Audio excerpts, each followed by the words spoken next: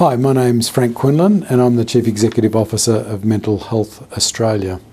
And today, Mental Health Australia is welcoming the government's response to the National Mental Health Commission's review of programs and services. As you know, we've all been waiting for this response for a considerable period of time, uh, and I think it's welcome today that we can at last uh, put to bed some of the uncertainty across the sector and start to make uh, key plans and responses. Uh, overall, I just want to quickly highlight what I think are some of the main measures that are outlined in the plan. Uh, largely, uh, the government's response follows the general direction that was laid out by the Mental Health Commission's review of programs and services. So you'll remember that that report of some 750 pages made some 250 uh, recommendations across some key areas. Um, the government's response today doesn't do a line by line response to the Commission's review, but really outlines the broad policy framework in which mental health reform will take place over the next few years.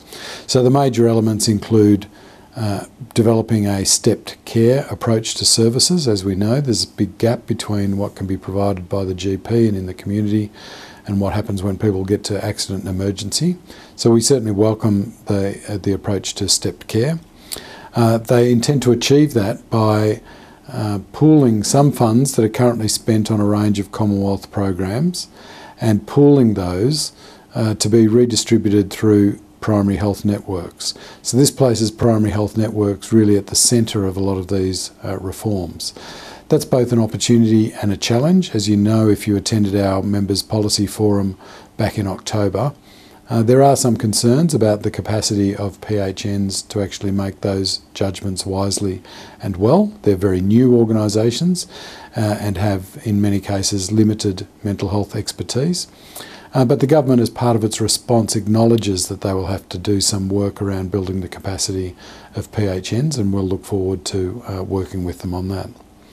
Uh, the government also responds uh, to the e-health agenda uh, by looking at online services and programs and flags some important plans to uh, consolidate and bring together and make sense of electronic health arrangements in the mental health space. Uh, we're not sure of the exact detail of what that means yet, uh, but again, I think bringing uh, e-health and online uh, mental health services into the mainstream of service delivery, making them a core component of our response to mental health issues, is certainly something that's welcomed. The government also are responding with what they call uh, a whole of childhood approach or a whole of uh, school approach, so kinder to year 12 approach, an integrated uh, range of services for people who are, uh, of programs rather, uh, for people who are of school age.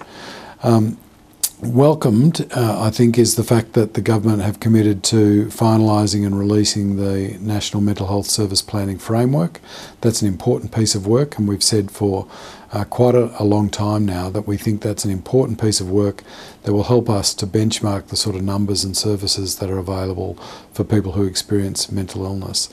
Uh, this um, announcement uh, estimates that there's some 690,000 people in Australia with severe mental illness each year and uh, some confirms our numbers around the uh, 250, 280,000 mark uh, of people who require uh, very specific and individualised and intensive support, so that's welcome. We also welcome the fact that the uh, government seems to be committing to including indicators in the development of the fifth National Mental Health Plan, and we know that's been a long time coming too, but we really do feel strongly that uh, unless we're able to have clear indicators um, marking out our progress of these reforms, it'll be very difficult for us uh, to uh, monitor our progress. In terms of the sort of gaps that I think uh, exist in the program, I think one of the things that we would have been uh, looking for more on uh, that we don't see is uh, around the peer workforce. So there's been a big push around peer workforce. instead, the government talks about a carer and consumer participation framework.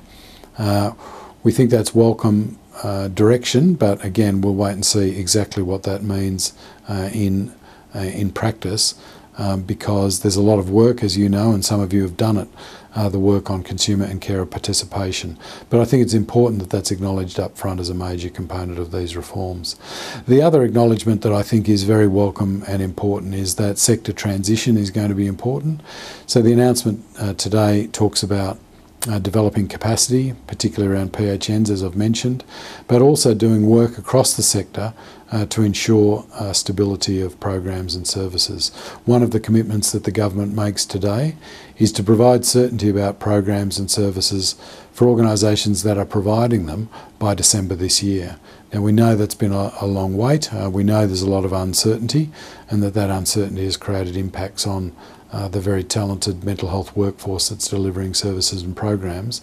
Uh, but nonetheless, I think if the government are able to provide that uh, certainty as we head into what will be an important transition period, uh, if the government is able to provide certainty to people who are delivering those services, to people who rely on those services, then that will be something that's uh, certainly very welcome.